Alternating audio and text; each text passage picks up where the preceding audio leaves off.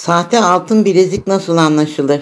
İyiliğe ulaşan şefkat eli olmak istiyorsanız kanalımızda izlediğiniz videoları ve bundan sonraki videoları da paylaşınız. Çünkü izlediğiniz ve paylaştığınız videolardan elde edilecek gelir ihtiyaç sahibi öğrencilerin eğitimleri için kullanılacaktır. Gerçek ihtiyaç sahibi öğrencilerin geleceğine el uzatmak istiyorsanız izlediğiniz ve bundan sonra da izleyeceğiniz videoları lütfen paylaşınız. Teşekkür ederiz. Sarrafçılar sahte bileziklere karşı vatandaşı uyardı. Sahte bileziklerin iki parmağın arasına alınıp esnetildiğinde çıtırtı şeklinde ses çıkardığı, gerçek altın bileziklerde ise bu sesin duyulmadığı belirtildi. Yetkililer ayrıca gerçek ve sahte altın bileziklerin esnemesinin farklı olduğunu belirterek zinet eşyalarının mutlaka kuyumculardan alınmasını istedi. Gerçek altının rengi daha parlak ve canlı bir renk olurken sahte altın zinet eşyası daha mat bir renge sahiptir. Yere düştüğünde gerçek altın daha dolgun ve tok bir ses çıkarırken sahte altın daha tiz bir ses çıkarır. Gerçek altın daha ağır olurken sahte altın daha hafif olur.